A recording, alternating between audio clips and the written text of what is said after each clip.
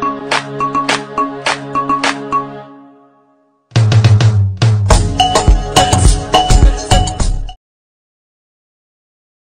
दोस्तों एक बार फिर से स्वागत है आप सभी का मेरे इस नए ब्लॉग में। सो so, दोस्तों आज भी जो है हम बहुत इंटरेस्टिंग जगह पे जाने वाले हैं। आज भी मैं एक मैरिज एक्सप्लोर करने वाला हूँ जो कि एक विलेज की मैरिज है। तो बिना किसी देरी के स्टार्ट करते हैं हमारे ब्लॉग की। मैं रेडी हो चुका हूँ। मैं जो है फाइनली बस स्टैंड पर आ चुका हूँ। तो अभी मैं जाऊँगा बस में। क्योंकि मैंने आज सोचा है कि बस की सैर करके देखते हैं आज। बहुत दिन हो गए बस में ट्रैवल किए हुए। तो आज मैं मैरिज के अंदर जो है, सीधा बस में ही जाऊँगा। अभी मैं वेट कर रहा हूँ बस की, थोड़ी देर में जो है बस आ जाएगी।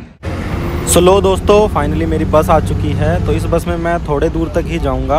उसके बाद मुझे एक और बस एक्सचेंज करनी है। तो सबसे पहले मैं जा रहा हूँ एक दूसरे बस स्टैंड पर, जहाँ पे हर जगह की बस मिलती है।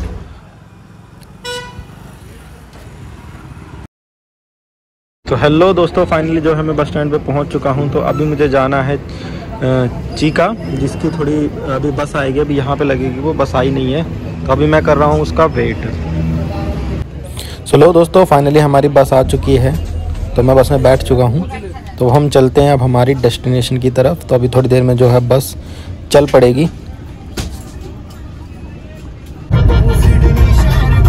तो दोस्तों बस से उतरते ही मुझे रिलेटिव की कार मिल गई जो कि उसी शादी में जा रही थी तो मैं उस कार में बैठा हूँ। तो अब हम जा रहे हैं सीधा मैरिज की तरफ़। सो लो दोस्तों फाइनली हम जो है मैरिज में पहुँच चुके हैं। तो आपको दिख रहा होगा किस तरीके का प्रोग्राम है। और क्या ले बढ़िया।